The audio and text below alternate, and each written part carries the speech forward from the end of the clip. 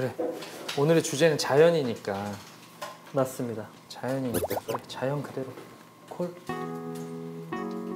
꽃 자체가 예쁘니까 뭐. 그럼 나 내가 힐링 될 것 같은데 뭐. 근데 되게 개인적으로는 지금 되게 신선한 경험이에요. 음. 아 너무 이쁘다. 오 그래도 괜찮은데? 괜찮아. 꽤 예쁘다. 괜찮아. 어, 됐다. 일단 색배치를 해봤어요. 좀 낮았다. 사랑이 이쁘다. 음. 제가 한 번만 봐. 네. 제가 조금만 손. 근데 거의 손봐드릴 거는 없는 것 같아요. 지금 근데 제가 보기에 인정받았어. 약간 요- 요쪽에 좀요 blue tone이 조금 부족해 보여서 시각적으로.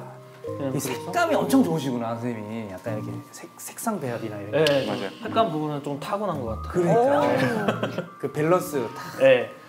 아, 잘했다. 묶으셔도 되실 것 같아요. 너무 좋아, 너무 좋아. 어, 와, 이뻐. 손재주가 있네. 그러니까. 잘했네. 어 되게 뿌듯하네 이거 뭐지? 이게 뭐지?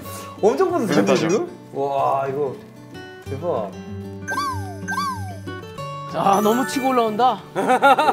야, 난 저건 안 해봤는데 꽃은. 이제 그러면은 이제 이 네. 부케와 어울리는 부토니에를 부토니에 자 이렇게 미니 부케 하듯이 이렇게 가슴에 달 정도로 내가 한 꽃을 이용해서 조그맣게 잡으신 다음에요.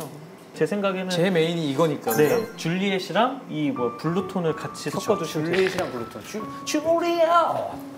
떡잎 빼주고. 저 작은 게 더 힘들 것 같아 만들 때. 아니에요 작은 게 더 쉬워요. 그래요? 그렇죠. 그다음에 손으로 그냥 뚝 끊어주시면 되세요.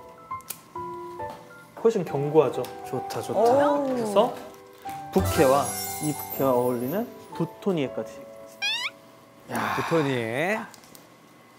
어. 잘 만들었네. 잘 만들었죠? 제가 만든 거예요.